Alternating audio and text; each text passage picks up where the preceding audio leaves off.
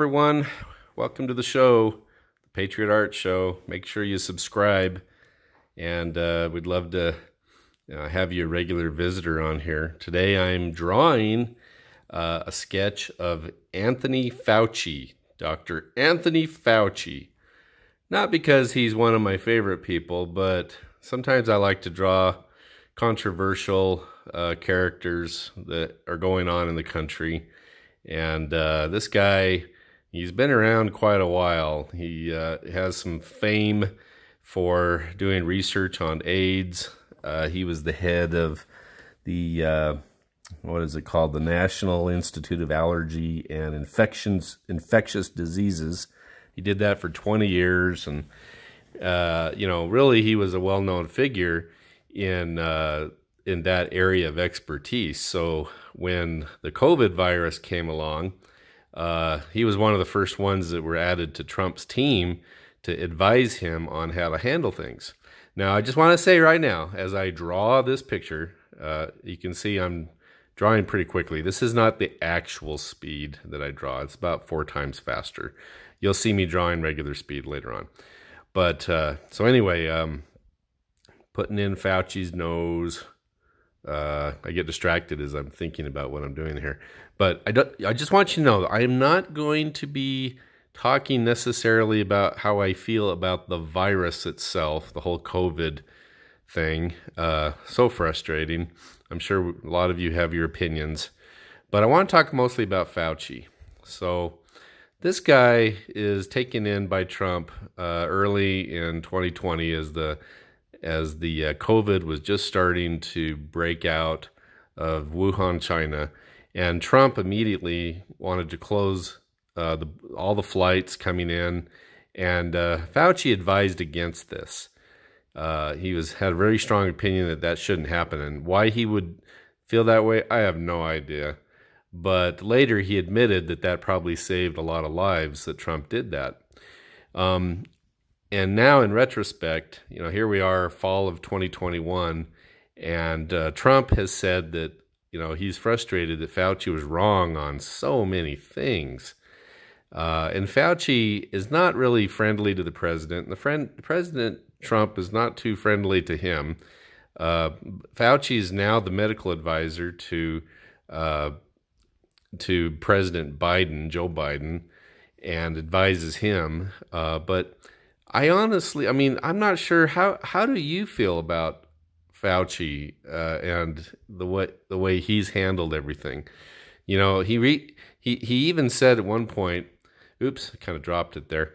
He even said at one point that it might even be good to wear two masks instead of one, and he got a lot of flack for that. Two masks. Oh my heavens! You know, and it's very debatable on how uh, effective those masks are. Uh, but you know, you know, Fauci, he's uh, he's definitely very popular with the left, not so much with the right. Um, you know, he's even had a documentary from Netflix come out about his life. I mean, this guy's very popular. He's on CNN and all the other networks except for Fox, but he's on all the other networks quite frequently talking about this pandemic and what should we which what should we what we should be doing. Uh, of course, his go-to thing is to lock down everything, um, which is not a very popular uh, position among those on the right. But uh, you know, he even said we may not be able to have Christmas this year, and uh, he said the same thing about Thanksgiving last year. And I, I, I, well, you you probably know how I feel about that. So here I am working on Fauci's face. Uh, he's from Brooklyn, so he kind of talks like this. Uh, that's my interpretation of the Fauci voice. Um, but uh, he's he's an interesting character. You know, he's been uh, taken before uh, Senate hearings lately by, um, or maybe they were congressional hearings. I can't remember. But uh, Rand Paul has really been ripping into him quite a bit you know, talking about the gain of function research that Fauci knew about uh, in the Wuhan labs. And uh, Fauci's denying it, and yet the emails come out that prove that it indeed was true. And Uh, you know, it seems it seems like there's a double standard when it comes to those on the left and what they can get away with. You know, lying to Congress and such. You know, if you if you do anything that appears to be uh, not forthright and you're on the right, you're conservative, boy, you're gonna get you're gonna get slammed. I've noticed the whole thing with Fauci has become kind of a cultural phenomenon you know, the way he's referred to and looked at. Uh, so there's some interesting products you can buy online of Fauci. Here's a mask of Fauci not wearing a mask, uh, which is kind of ironic since he tells us always to wear our masks. Get yours now. Here's a pillow with Fauci's face on it. That's very comforting. Uh, a nice t-shirt. Lots of those available socks with Fauci on them. These are all online. These are real. Uh, trust in Fauci. Uh, our only hope. I think that's a t-shirt design. I think this one is either a minted coin or a sticker. Masks with Fauci. That's pretty clever. Another t-shirt. Ooh, not nice.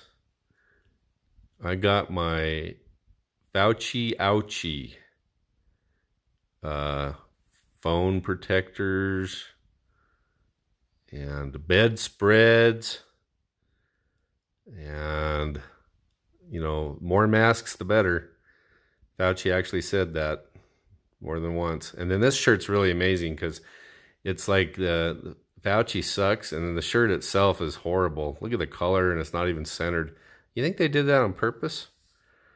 I think they're trying to make a point. And then, of course, there is the uh, Fauci onesies. Um, comes with a matching mask. I don't know. I thought those were pretty cool. All right, so I'm working on the Fauci face here, just sketching it in, getting shadows under the chin. And uh, I thought about drawing some beagle puppies in the picture with him but that would be kind of a, a, a underhanded jab. Uh, not, uh, you know, that's a Freudian slip there. Um, but, you know, we I, look it up on Google if you don't know what I'm talking about. Oh, got it. Made the ears too small. I got to make them a little bigger. Okay. All right. Putting in some last touches there. Uh, we got to move on down and get some more detail down below. But I kind of work these pictures and just kind of flesh them out and and uh, you know I'll probably sell this this sketch and I do I do sell a lot of the sketches in my sketchbook. I keep a copy of them for myself. And things like this I don't expect them to be very popular.